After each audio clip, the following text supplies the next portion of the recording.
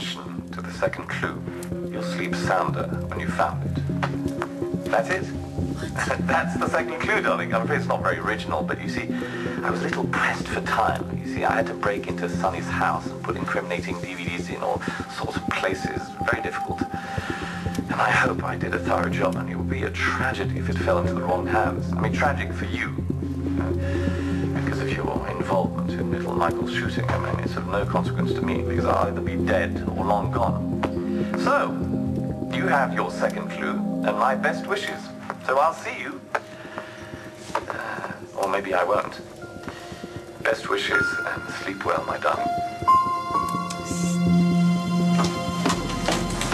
I'm here to see Sonny. Who the hell told you you could come barging into my house?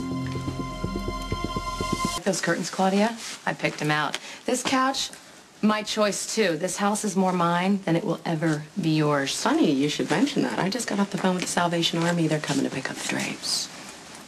I made plans to redecorate. I'm Sonny's wife, so I can do that. Deal with it. Did you clear it with Sonny? He's pretty finicky about how his house is decorated.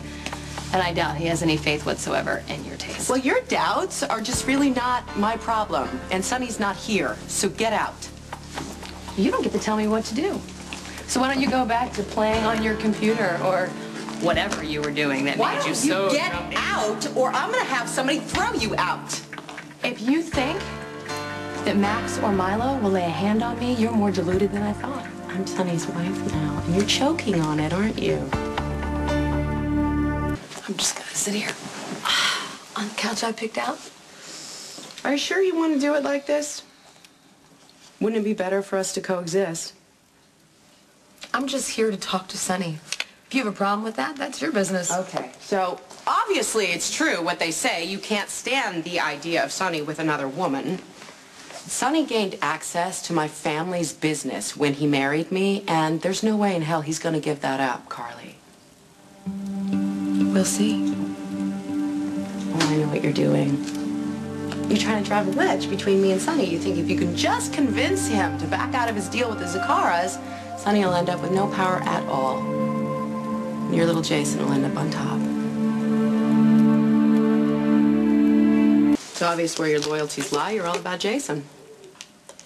This has nothing to do with Jason. Oh, come on, it has everything to do with Jason. You manipulated Jason into taking over so you could punish Sonny for what happened to Michael.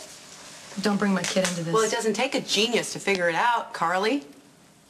Your game? Come on, you've backed Jason since he took over. Sonny found a way around you, though. He aligned himself with Zaccharas, and now he has more power than Jason. Is that what you think? Yeah. Sonny's in a position to take your good friend Jason down, and you're running around panicked, trying to stop that from happening. I made a conscious decision to stay out of it. But if you wanted to change my mind, you're doing a hell of a job. Married you to gain access to the Zacchara muscle. Yeah, and now that he has it, he's not giving it up. Don't be so sure. Sonny would never be able to hurt Jason. You underestimate him. No, I know Sonny. I know him. He's ambitious, yes. But he knows he can only push Jason so far. Sonny will eliminate Jason. You made that inevitable when you forced them to choose sides against each other. You tore them apart. You pushed Sonny away. You shut him out. You practically pushed him right into my arms. So, Carly, blame me all you want. You're the reason those men are enemies. Why don't you warn Sonny that I'm no good for him? I'd love to see his reaction. You're the one who underestimates Sonny.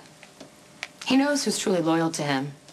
He respects people who live by a code, and you don't. That doesn't matter. You're out of his life now, Carly. And you're not getting back in.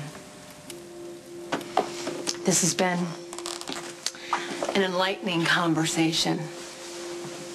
You've managed to convince me that you are dangerous to Sonny's well-being and probably his life. Now I just need to figure out a way to get rid of you. Mm-hmm.